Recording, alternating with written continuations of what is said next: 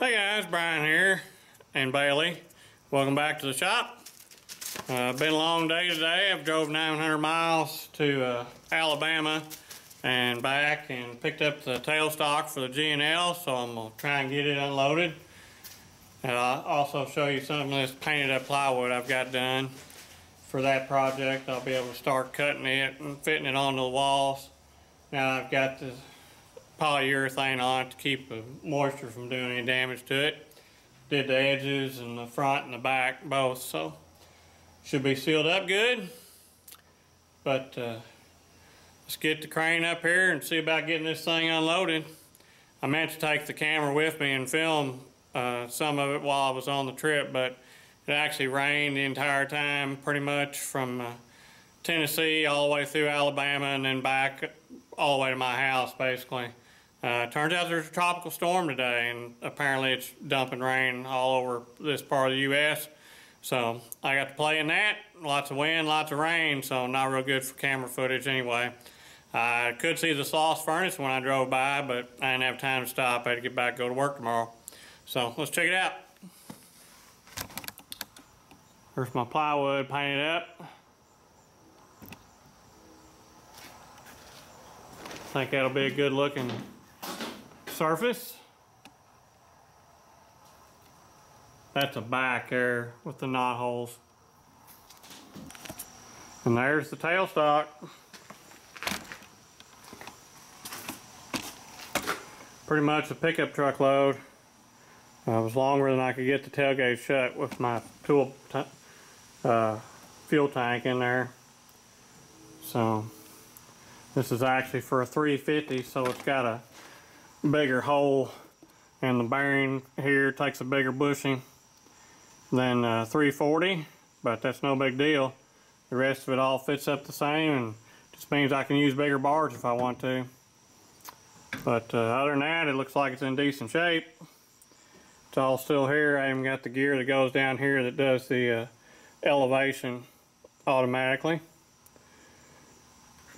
So let me get it unstrapped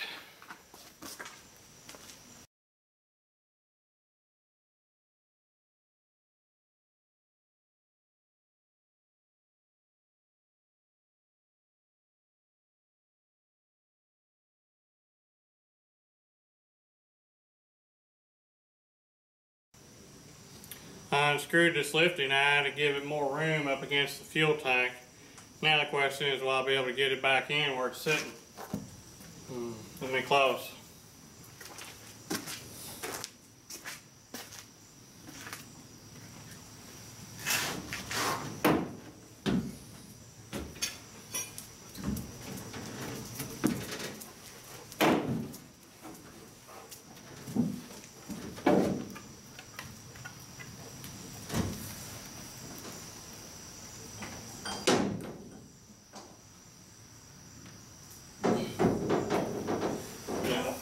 No way.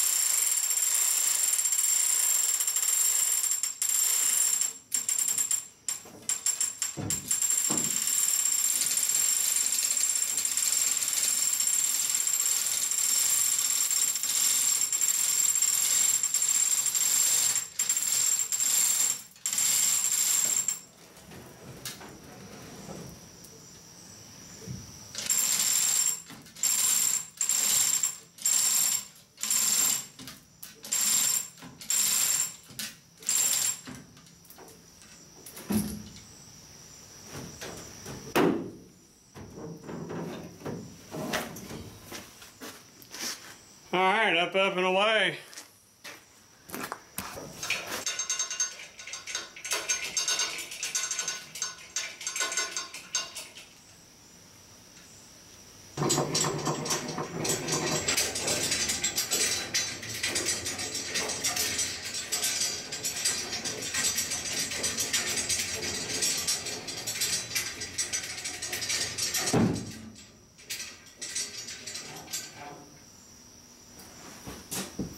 I'm gonna go with it for now. I'll pull the truck out and stand it up, and then I'll move it back to the back.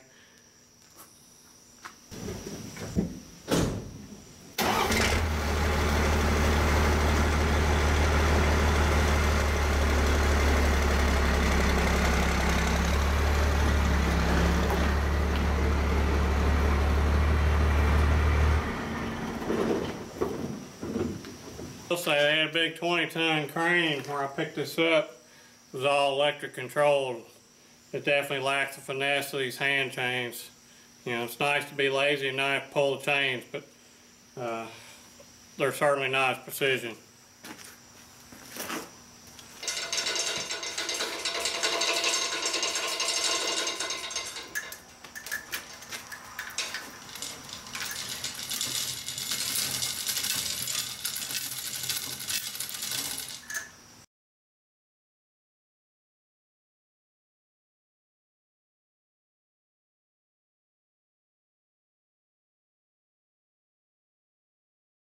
Well, that's it for today. I'm gonna call it quits.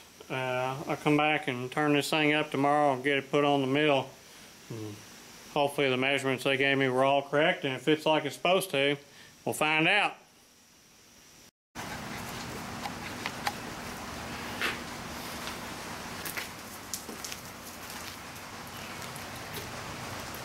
Alright, see if we can't get this thing stood up and put on the mill to be sure it fits.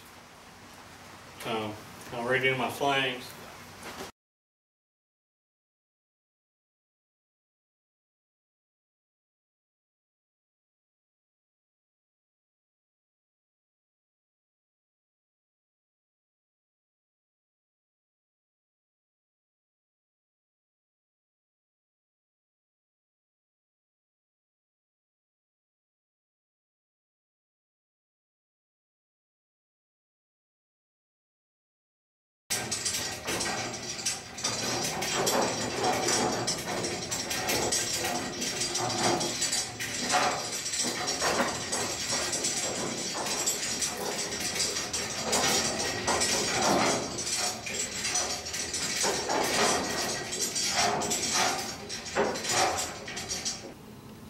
Well, I'm not sure if I can slide this on here or not like this. I may have to take these plates off the bottom, but I'm gonna try it like this and see anyway.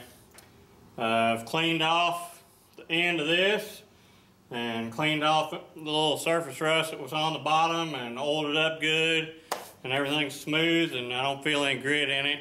So should be able to sit this down on here and have it sit good and square and flush and not be chewing up on the ways when it moves because this does move with the rack which is why it's going to have to pick up more to go over so the rack can go down in it which probably means this thing gonna go on with its plates.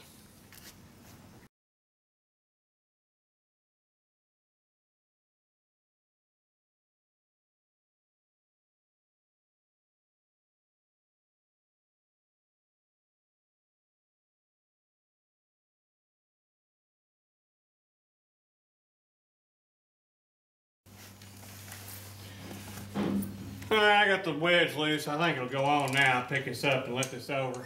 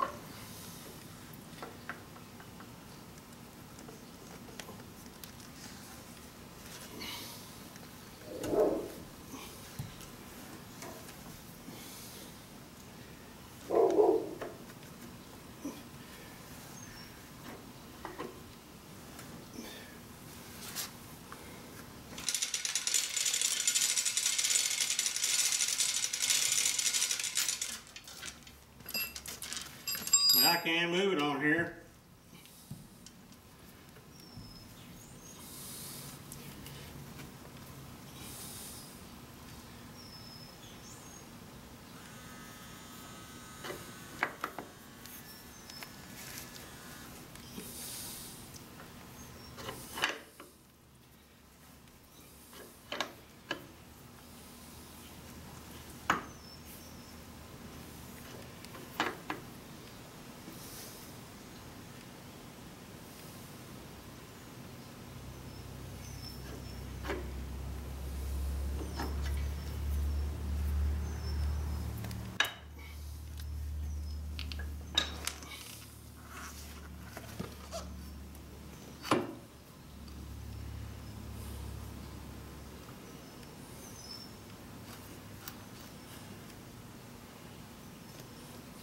Well, there it is, it's sitting on there. So, I gotta get some of this stuff oiled up and cleaned up and try and get this thing adjusted side to side and then I can work on getting it timed to the headstock so that when the headstock goes up and down, they go up and down together like they're supposed to. So, I'll work on some of that and I'll bring you back. Well, I'd have to say I like the way it looks with the tailstock on here. It definitely gives it more of a proper boring mill feel. Now I gotta find some big uh, pieces of steel to make some boring bars out of. I need like some four and five inch diameter uh, bars that are 10 foot long to build boring bars out of, put cutters in and things like that to uh, manufacture to have for line boring on this machine. Uh, so if anybody's got any scrap hydraulic cylinders laying around or something like that that would uh, have uh, rams that kind of size uh, that I could use to build something, that would be good. Uh, otherwise, I'm still waiting on my wicks to come in. Thanks to MSC, I was able to get wicks ordered. Uh, working with Gits was terrible. I couldn't hardly get anything out of them, and then when I finally did get a little bit of something out of them, they told me I had to go somewhere else to get it because they had to go through a distributor anyway. So, fortunately, MSC is a distributor, and I called them, and in a half hour, I had supposedly uh, parts on the way, but uh, they haven't showed up yet. It's been a couple days, but uh, you know, the holidays throwing everything off, so I can't expect a whole lot. Uh, hopefully they'll show up tomorrow and over the weekend I can get this put back together. But uh, I lost my good ride out of the back of the truck now. It's going to bounce again. I had it smoothed out, but that's just the way it is. Thanks for watching. Thanks for subscribing. I'll catch y'all later.